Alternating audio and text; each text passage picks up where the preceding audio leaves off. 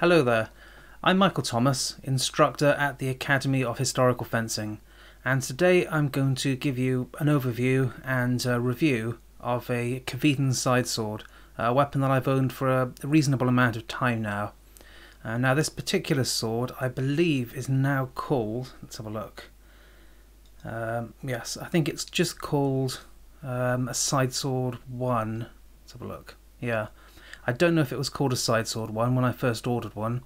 You'll notice if we go through the list at the Maya website, Maya website, the Kvetun website, um, you'll see there are five types of side sword available at the moment. Um, this particular one here, the uh, Maya rapier, I actually have it here. Pop back. Uh, get the. Yeah, this is the one I did the video of last time, Maya rapier. Um, but I'm going to be talking about this particular chap today, um, which if we look at the image, I'll just pop it up. Okay, if we look at the image there, yeah, I think it looks like what they're calling, if you look at the top left, it looks like the one they're calling the um, side sword one. So we'll call it the side sword one until we know better. Let's pop that back.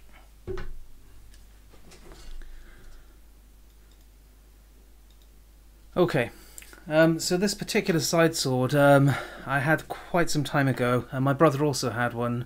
Um, and I think his girlfriend um, Esther may have also had one, I'm not quite sure. But we certainly had at least two of them. Um, and this sword has had a lot of use.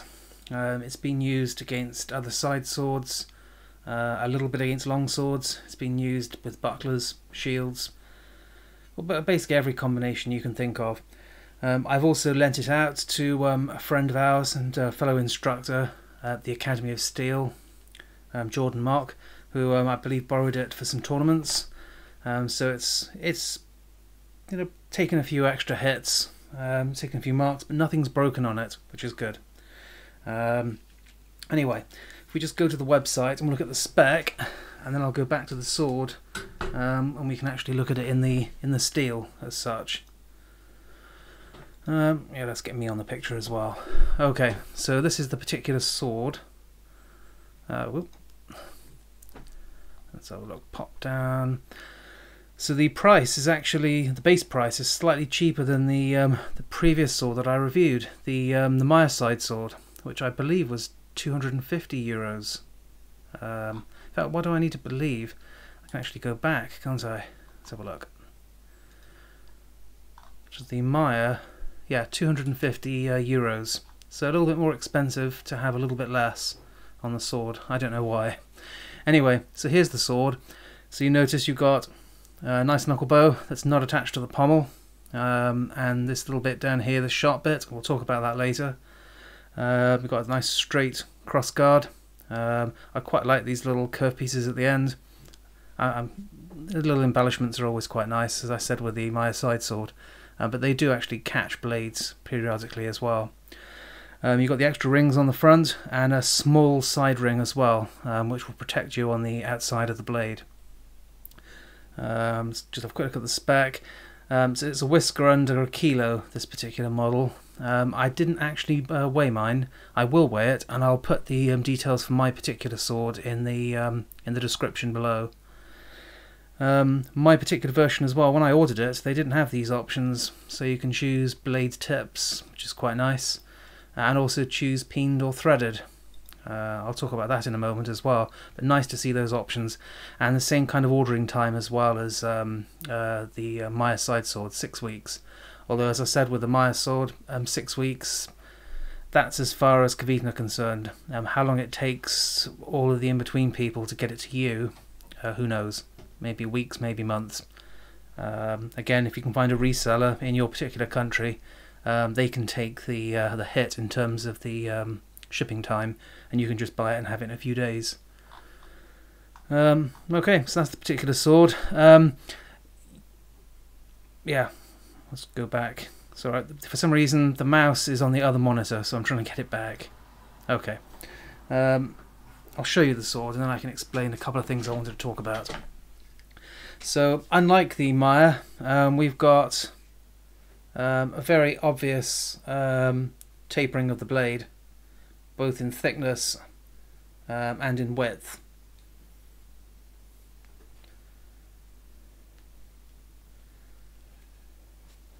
If we go up here, well, it's not going to focus, is it? See, it's quite um, thick at the ricasso, and it's actually quite meaty, um, and then it drops down to something a little.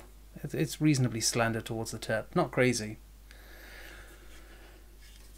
Um, now this particular sword, you can, uh, unlike the Meyer, um, because you've obviously got the protection at the front, um, you can grip it in multiple ways. So if you want to pretend it's a, a Meyer side sword, or you just like um, to swing it, um, then you may prefer to go with a hammer grip, and you can rest the thumb on the side. Let's try not stab the ceiling this time. So you can hold the sword here. There we are, let's get around the microphone. So you can hold the sword quite easily without having to um, put your finger over the um, over the crossguard. So if you want to, you can hold uh, use it like this, and I actually use it about 50-50, depending on who I'm fighting, what weapons I'm fighting, if I'm using a accompanying weapon. Um, and it is actually quite a good cutting sword like this, um, but there are conditions when it comes to the glove. Um, the other way is obviously you can finger the blade. Um, in which case it works quite nicely. It's not too sharp down here. Um, it is it is still you know it's, it's, they haven't really rubbed it down, but it's it's not particularly you know it doesn't stick in, and you haven't got a nasty corner here digging into the finger. So you can you can hold the sword like this, and it is actually quite comfortable. Um, the tip, my particular one came with a rolled tip. I don't recall us having a choice. Maybe we did. I, I don't remember. Uh, and this little mark here, this is a residue of tape um, because all of our swords, um, uh, the, the tips have got sort of archery blunts on, and then we put additional tape and leather and all that kind of stuff. But I don't want to show you that, I want to show you the actual sword, so I ripped it all off just for you. Um, now you notice mine, yeah, it has taken a bit of a beating, um, although the edges, I think are actually looking pretty good, better than a lot of swords. Uh, and this has gone up against some pretty heavyweight uh, weapons as well. Uh, I can't say the same about the now the guard, well I can I suppose, and it's still in one piece, but uh, if I bring it a bit closer you can see, uh, see that it's definitely done its job. Look at all those marks. See if that was an arming sword, that would be your hand. Uh, and you'll also notice it's got the um, the classic marks of a sword that's actually been used. Um, if you look here, that's no longer straight, is it? Look. Can you see there? Yeah. You see it's all a bit bent, a bit skeworth. Um, but again, it's still, yeah, it's pushed down actually onto the blade uh, along here. Oh, here. But it's is it's still intact. Um, whereas you look at our um, early uh, Regenyei swords, um, bits were flying off them all the time on the crossguard um, and around the knuckle bow. Um, they just weren't up to the job. The new ones are, uh, are completely different animals, but the, the early ones are quite susceptible to breaks. Now mine is peened, uh, not peened, mine is a screw thread, which I'm not personally a big fan of screw thread uh, uh, threaded swords. Um, in my experience, they always come loose, and every time you tighten them, it reduces the um, the lifespan of the weapon. It stretches the tang. In fact, if you look at mine, it's not even remotely straight. And in fact, if you look at the bolt, when I first had this, the um, tip of the bolt um, was flush with the nut, and it's had to be tightened so many times that the um, that it um, oh, what's it called the grip is is compressing slightly, and the bolt is stretching and pulling. So if you take this sword apart, in fact, why don't we take it apart? Let's do that. Tell you why we won't do it because it's really hard to get the nut off. Here we go.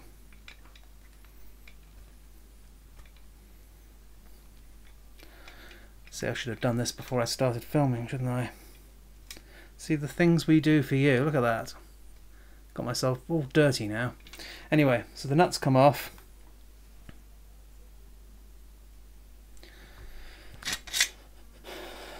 Take the nice weighty pommel. Ah, oh dear. Yeah, that's that's not brilliant, is it? Look at that. Ah, interestingly, it says three on it. Now, what does that mean? It's it shouldn't be a rapier three, but a side sword three, I, I should say. Um, there's obviously a secret code there. What does the 3 mean? Hmm. It's almost worth contacting Kvetun to find out. Anyway, so you can see after a reasonable amount of use and constant tightening of the pommel, um, the tang on my sword has bent significantly. Uh, it's bent, it pulls up, so the pommel is actually slightly off angle, um, and it constantly needs to be tightened up. But saying that, it still remains intact. Um, so it's not all bad news. Now let's pop this little chat back together. Maybe. There we go.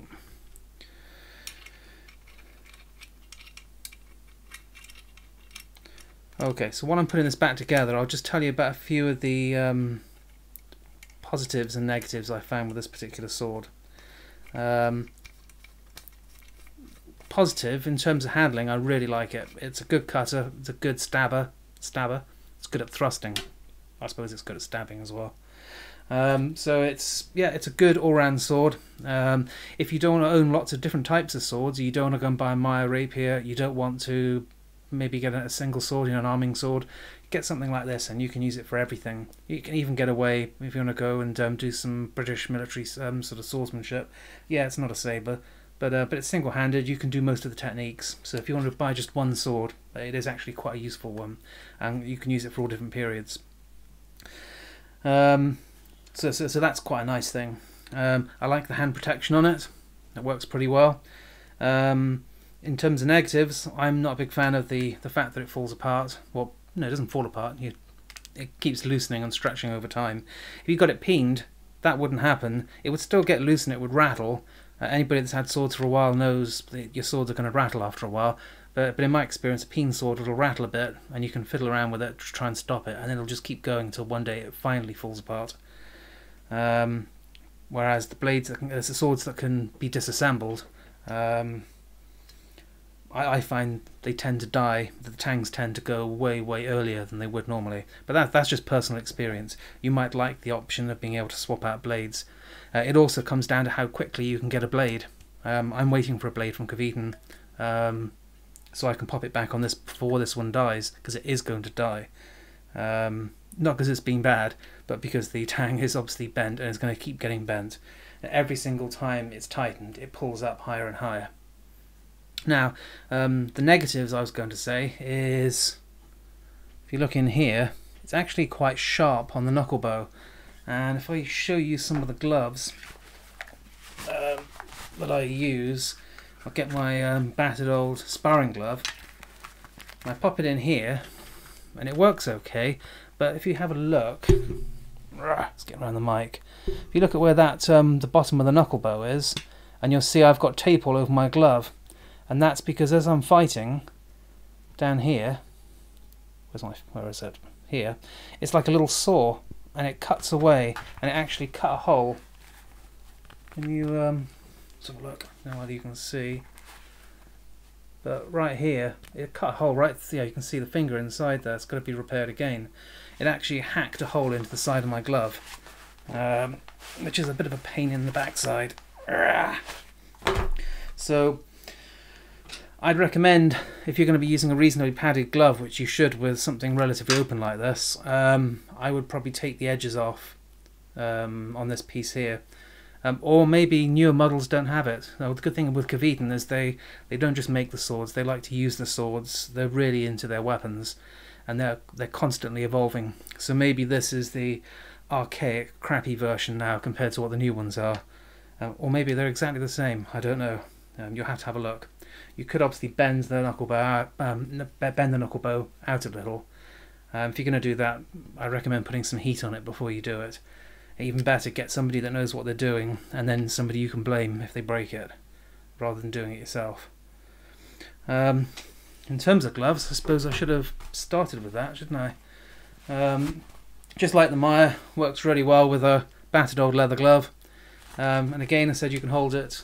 Let's move back so you can hold it um, really nicely. In fact, it locks tightly into the hand um, when you hold it as though you're using a, a rapier. So if you're not finger, um, fingering the cross guard, um, it's really comfortable. It's a really nice blade to use. Um, if you want to finger it, put the finger over there, and suddenly you've got something that's you know got some additional point control now. Um, and it's still you've got all lots of movement. You can change um, grip quite quickly. Fingers will move around. So yeah, great with a leather glove. But are you going to be wearing a leather glove when you use this?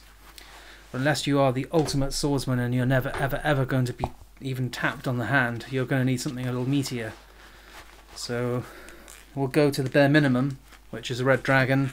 Which again, I wouldn't recommend a red dragon for use with steel, um, unless you're putting conditions on there. So you're rest either restricting the speed or the power of the hits, or you're sparring with sensible people, people you know and trust, um, that are going to be able to fight to, in a particular way that isn't going to get you hurt.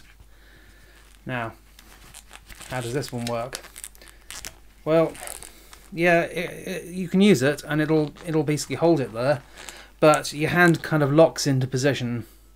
Um, if you remember that guy in Willow that's got the kind of the um, spike um, um, on, on his left hand. I believe it's his left hand. Um, he's got a sword in one hand and he's got a spike sort of stuck on the left. Well, it almost feels like that um, in that it kind of locks into the glove. Um, the older and crappier your Red Dragon glove, the less this will be a problem because it would have all loosened up. This is a reasonably new one. But, but even so, it's a little restrictive. But the hand does fit in. Notice the fingers are going all the way through. I've got full movement. Um, the thumb, it's okay they're not amazing. Um, and then if you want to put your fingers through and hold it like a mire, well, no. Try and get my fingers in. Ah, that's just not going to happen. Well, okay, that's not true. It will happen, but you're going to have to force it there. And then when you fall onto the floor, you're going to find the sword is actually permanently attached to your hand. Um, so yeah, you're not going to be able to use it like a mire and hold it, or you know, like a sort of um, a backsword or something, it's just not going to fit. This microphone is way too high. Just give me a give me one moment just to lower it.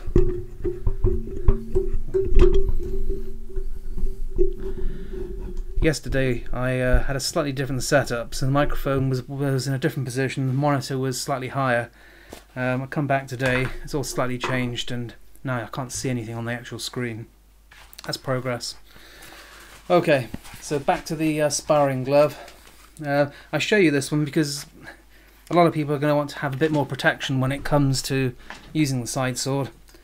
Um, so as with the Maya, uh, the fingers move around. They don't, they don't actually move quite so freely as with the Maya, um, but they do all fit neatly through, although the shell won't go through. And as I've said before, it just hacks away through my glove in the corner here. It's a real pain in the backside. After a fight, I look at it and I think, oh, I'm going to have no finger left at this rate. But once you get your hand in there, it is actually really comfortable. That actually feels solid. Um, in some ways, actually even more comfortable than using the leather glove because it's kind of it's it's slotted in really nicely. Um, I can get really good um, thrust control. Um, I can do some um, you know, the cuts. Any kind of cut I want will work perfectly fine. I get some great rotations. Um, I can get the point straight on line after a cut. So if I'm converting between thrusts to cuts and cuts to thrusts, all fine, all great. Um, it, it's not quite so handy if you're trying to get your hand out of the glove quickly. Hand out of the glove, trying to get your glove out of the sword. Um, so let's say you get up close, your, your sword is bound up or they're trying to grapple and they've locked your weapon. You might want to release the sword. In fact, well, I like to release the sword and then punch them. Um, so you try and do that, you release, and then you get you kind of get caught up in the um, in the in the guard and then so you, you suddenly look like a prat because you can't take your hand out of the sword to punch them, and obviously you look far less a prat if you can punch them. Um, so that that's not that's one of the things that's not quite so great. Um, but saying that, you know, when you're actually holding the sword, and let's face it, 99% of the time you should be getting your hits by hitting them with the sword. Um, it works perfectly fine. Um, now, in terms of fingering the sword, fingering the grip, um, yeah, great actually, where's that damn camera there? I can move the thumb around relatively freely.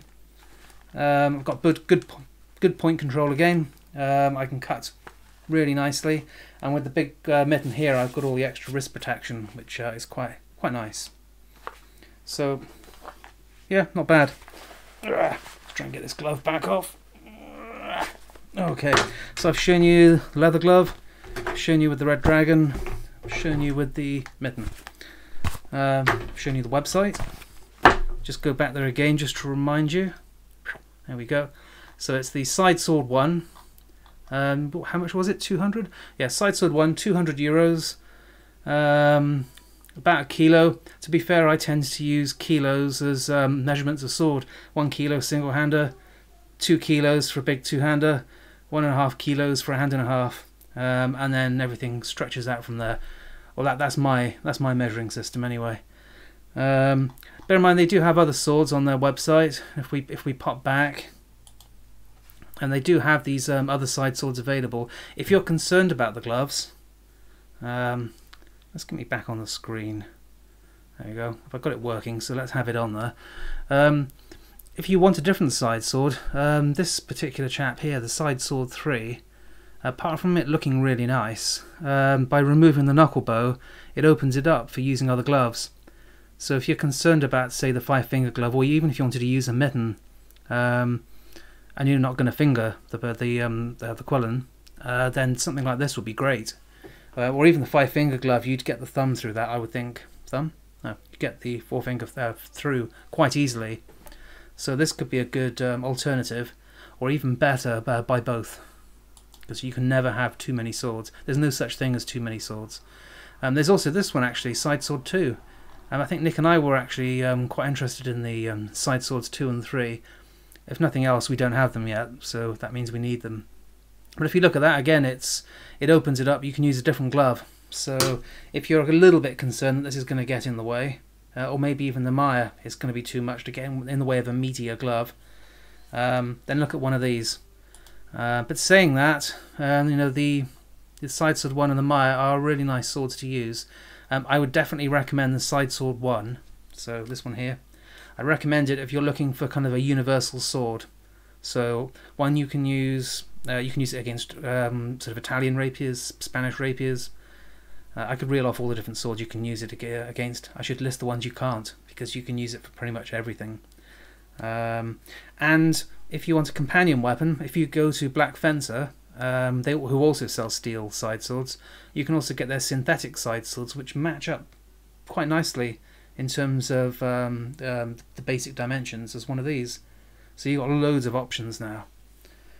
Um, and I think that's about it. Um, just go back to me. Um, so there you have it. Uh, I'll just pop it next to the Mire just for comparison. Oh, in fact, let's get them the same way around. There we go. So you, you can see the Maya has a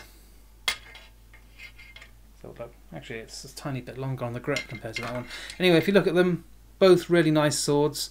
Um, we're kind of living in a golden age when it comes to swords. For anybody that was doing HEMA when we started, sort of one and a half decades, nearly two decades ago, um, there was so little kit available when we started. Um, Nick and myself, we bought so much steel, um, trying to get the right combination of sort of speed and safety and weight, of which there was almost nothing available at the time um, and it was so expensive. Uh, you know, four hundred to a thousand pounds trying to get half decent steel. And now we've got some. You know, we've got great Russian swordsmiths, um, Poles, um, uh, Spaniards, Brits, Americans. We've got loads of good sword makers, um, and the prices are really great. Uh, come on, this sword, this one here, two hundred euros, two fifty euros. It's insanely cheap compared to what it used to be. Uh, oh, don't forget the those prices are um, the euro prices on the website. Unless you're in Russia, um, you're going to be paying um, some kind of tax, duty, and shipping. So you will have to pop that on top, um, unless you're buying through a reseller, in which case the prices will be slightly different. I'll um, I'll pop the link to the um, sword at the um, in the description of the video, and if you've got any questions about um, either of the swords, let me know. I think in my next video um, I'll stay with the Kvetun theme, and I've got um, one of uh, Kvetun's custom um, uh, complex hilted longswords. Uh, it's one they listed on their on um, Facebook, and it, it, it looks an absolute beaut. It's got loads of hand protection, um, really nice strong blade, um, and it's a little different to what you normally see. You know, these days it's all about feathers. Um, this you can use it with feathers, but it it looks pretty special. So um, I'll pop that out. I'll make sure it doesn't look too grubby, and um, I'll record a video probably over the weekend and then pop it up so you can have a look. So again, any questions, pop them in the comments, and um, I'll do my best to answer them. Thanks.